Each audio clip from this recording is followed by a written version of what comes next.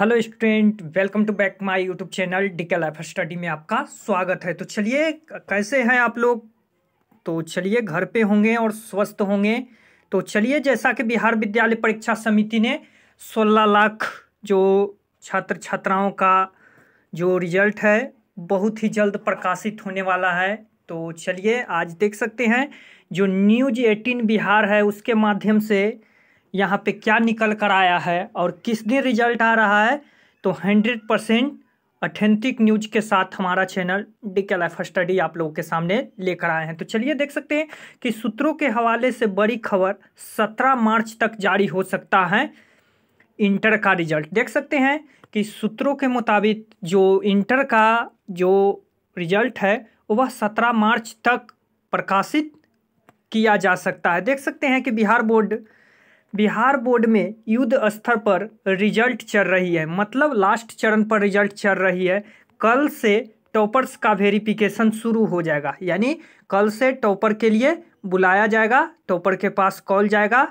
तो चलिए, परीक्षा में कुल देख सकते हैं, सोलह लाख अड़तालीस हज़ार परीक्षार्थी शामिल हुए थे। देख सकते हैं, इस बार जो इंटर परीक्षा है, उसमें सोलह लाख अड़तालीस हज़ार परीक्षार्थी शामिल हुए थे। देख सकते हैं, शामिल में से एक फरवरी से चौदह फरवरी तक जो एग्ज़ाम था, वो वह करवाई गई थी। तो चलिए विस्तार पूर्वक देखेंगे फ्रेंड तो वीडियो में बने रहे। तो चलिए, जैसा कि देख सकते हैं कि हिंदुस्तान का जो आर्टिकल्स न्यूज़ है आज का, देख सकते हैं, हिंदुस्तान पेपर में क्या बताया गया है आज का हिंदुस्तान आर्टिकल न्यूज़ है।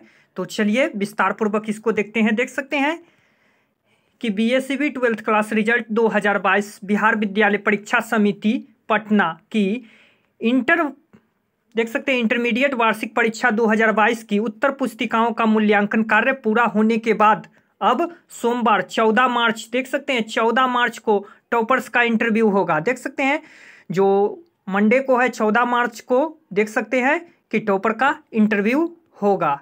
शुरू कर दिया जाएगा। देख सकते हैं कि बोर्ड सूत्रों से मिली खबर के अनुसार टॉपर्स का इंटरव्यू और रिज़ल्ट के अंतिम रूप देने में तीन या चार दिन में निपटाया जा सकता है। देख सकते हैं कि बोर्ड के अनुसार यह बताया गया है कि जो टॉपर्स का इंटरव्यू और रिज़ल्ट का जो अंतिम चरण है, उसके लिए दो या तीन दिन या चार दिन में निपटाया जा सकता है। तो इस हिसाब से हम लोग कह सकते हैं, देख सकते हैं कि इस हिसाब से देखा जाए तो 16 या 17 मार्च बिहार बोर्ड बारहवीं परीक्षा का परिणाम घोषित कर सकता है। देख सकते हैं कि 16 या 17 मार्च को बारहवीं का जो इंटर का परीक्षा परिणाम है, वह कभी भी जारी हो सकता है। तो चलिए वीडियो में बने रहें और पल पल की अपडेट के लिए हमारे चैनल को सब्सक्राइब करके और बेल आइकन प्रेस करना ना भूले। हालाँकि बीएससीबी ने बारहवीं परीक्षा का परिमाण घोषित करने की तिथि को लेकर अभी आधिकारिक ऐलान नहीं किया है। मतलब आधिकारिक ऐलान नहीं किया है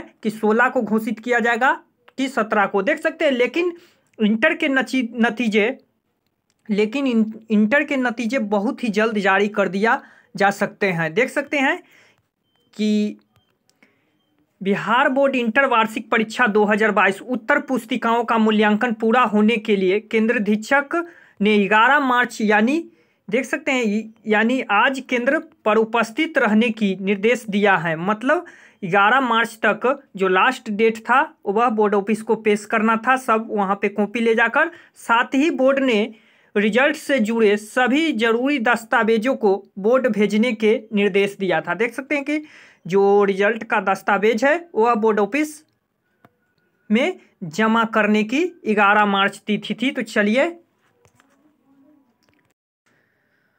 तो चलिए बोर्ड सूत्रों के अनुसार देख सकते हैं कि यहाँ पर B S C B twelfth result 2022 Bihar board बारहवीं का परीक्षा टॉपर्स को सोमवार से शुरू होगा इंटरव्यू देख सकते हैं टॉपर्स का जो इंटरव्यू है, वह सोमवार से शुरू होगा, यानी सत्रह मार्च तक, देख सकते हैं सत्रह मार्च तक रिज़ल्ट घोषित तो होने की संभावना है। देख सकते हैं बिहार बोर्ड, यह कन्फर्म डेट नहीं बताया फ्रेंड कि सत्रह मार्च को ही जारी हो जाएगा। यह एक, देख सकते हैं कि संभावना के अनुसार बिहार बोर्ड कहा है कि सत्रह मार्च तक जो ट्वेल्थ क्लास का रिज़ल्ट है, वो वह परिमाण घोषित किया जा सकता है। देख सकते हैं, यहाँ कन्फर्म डेट को नहीं जारी कर कर बताया है। तो चलिए, हो सकता है आपको 16 मार्च का भी आ सकता है।